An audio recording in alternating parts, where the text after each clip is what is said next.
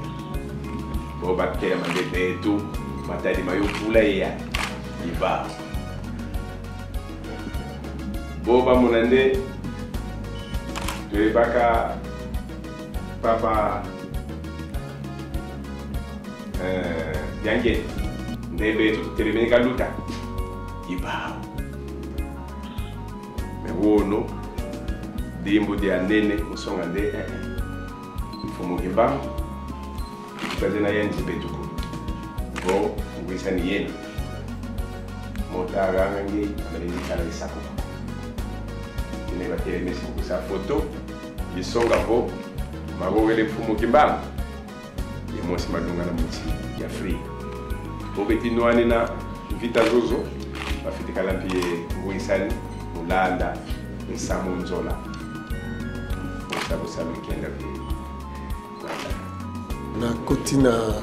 na nkamba ezali euh,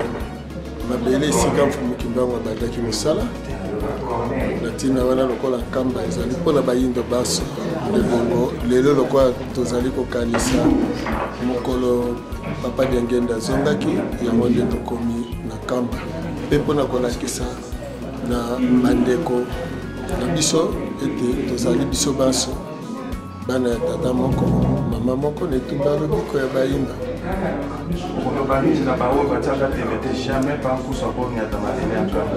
bon nayebi te soki eza na moto alobaki ke jamais pa akusa kooniata mabele ya nkamba te mpamba te lelo eza mbala ya mibale lelo eza mbala ya yambo te ntango papa dialunga nazalaki euh, nayaki mpe lisusu na nkamba epe soki moto alobi bongo na kolikia ayebi euh, mfumu kimbangu te epe ayebi nkamba te mpamba te mosala ya mfumu kimbangu ebandelaki na nkamba lokola ebandaki na nkamba na kolikia ete nkamba ezali mabele mpo na motu moko te kasi kamba ezali mpo na biso bayindo banso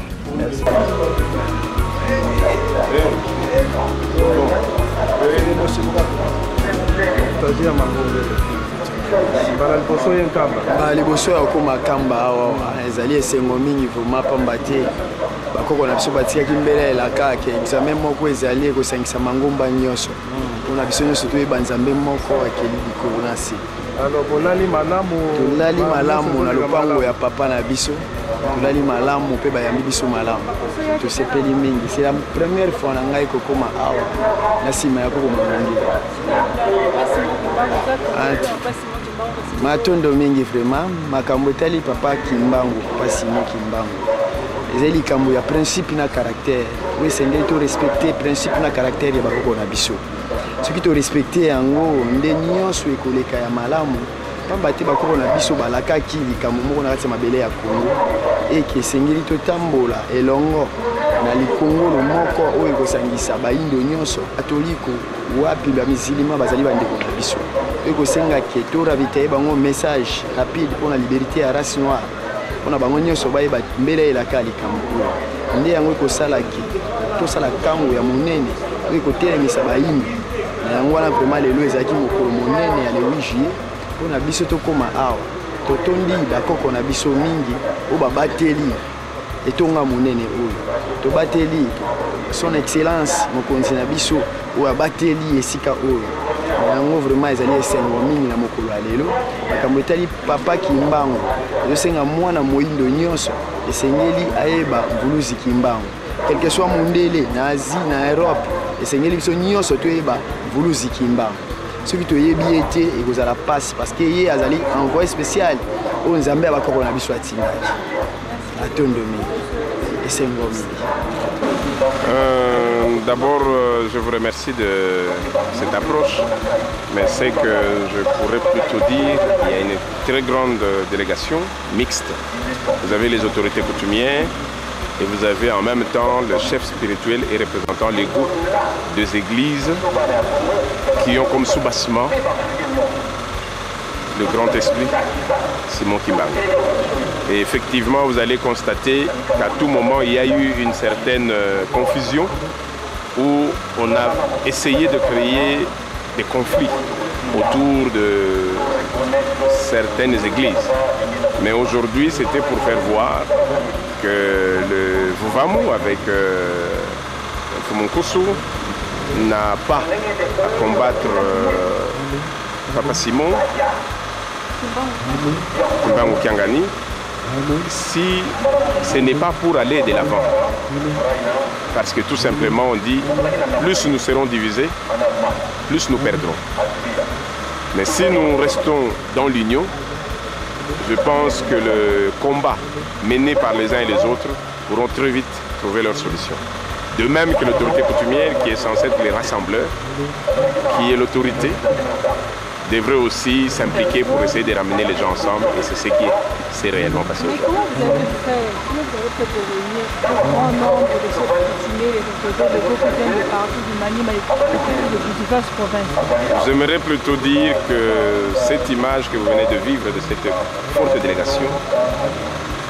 est seulement l'expression de la réalisation aujourd'hui que la prophétie de Simon Kimbangu d'avoir une Afrique solide, un Congo vainqueur. La prophétie de rassembler tout le monde autour du sort de Kimpavita à Colombie va tout simplement se réaliser que l'image commence par cette volonté manifeste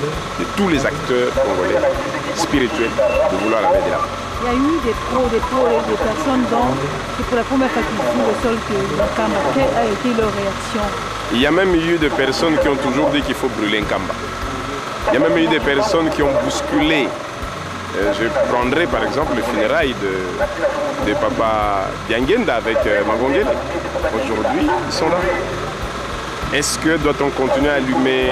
des flammes Ou est-ce que c'est le moment de dire Congolais debout parce que notre histoire nous appartient Voilà, merci. Après leur premier contact avec le représentant légal et chef spirituel de l'église kimbangiste, direction Saint-Temple Kamba pour assister au culte d'action de grâce.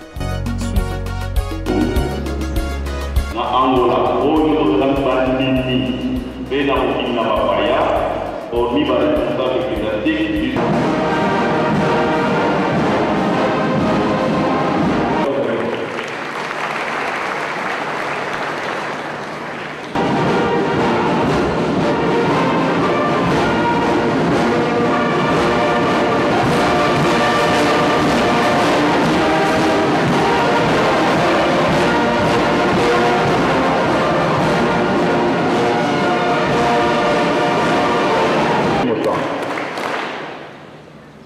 deuxième volet du culte.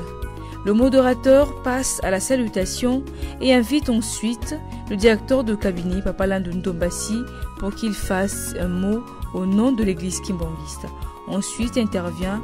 celui du représentant légal de l'église de Vouvamo. Joseph Kabila Kabangé, président de la du Congo, pour sa marque d'attention salvatrice de Papa Simon Kimbangu et pour la mémoire du grand bâtisseur que fut Diangenda. tokosenga bobele son excellence mfumu nkusu aza na message ya kopesa na cadre ya bamakambi mangu chef spirituel mfumu nkusu bomema liboso awa apesa biso message bango basili kobongisa Matondo mingi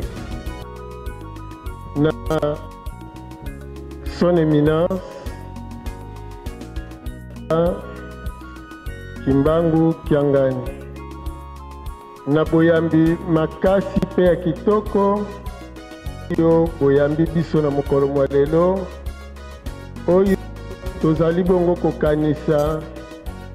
bozongi ya wa monene papa diangienda kuntima mpe bongo matondo mingi na bandeko banso ya eglise kimbangiste na lolenge oyo boyambeli biso na bongo tozongi bino banso mpe topesi bino matondo nakolikya ete na biso na nkamba ebele balobaka ah, papa kusa kokóma na nkamba toye nkamba ezali esika oyo moto ya lobiko ya bayindo epelelaki na kati ya mfumuki mbangu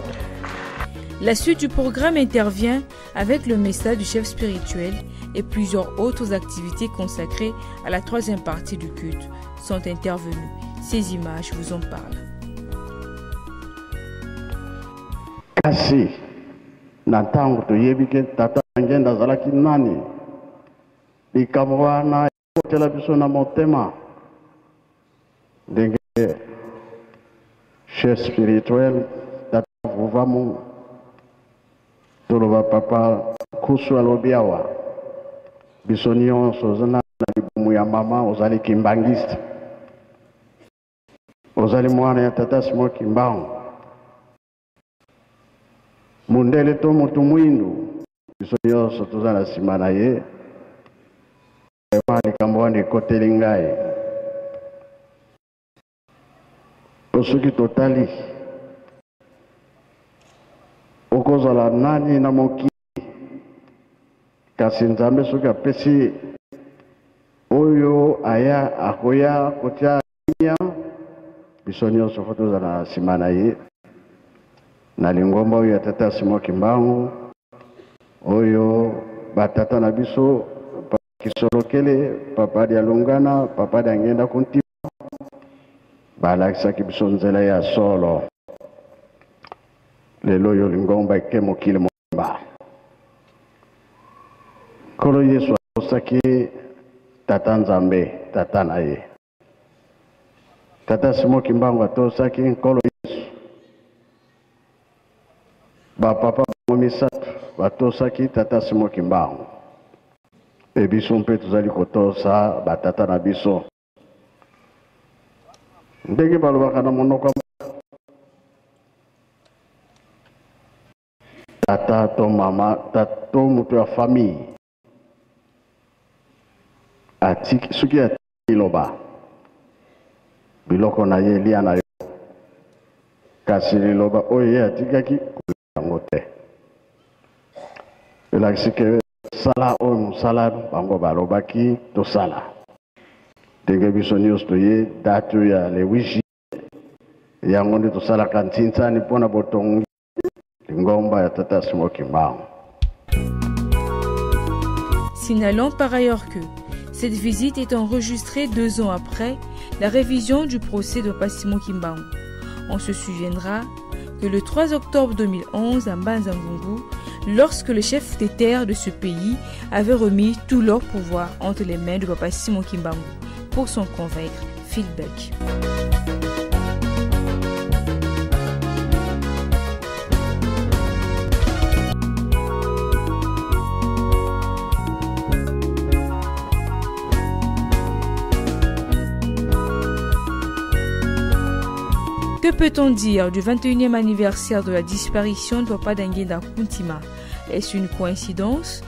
un hasard ou une prophétie de Papa Simon Kimbangu qui se réalise petit à petit.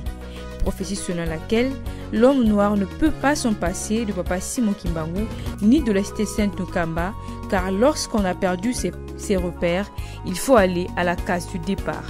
Le départ de l'homme noir, et c'est un Kamba le développement du peuple congolais, c'est aussi Kamba.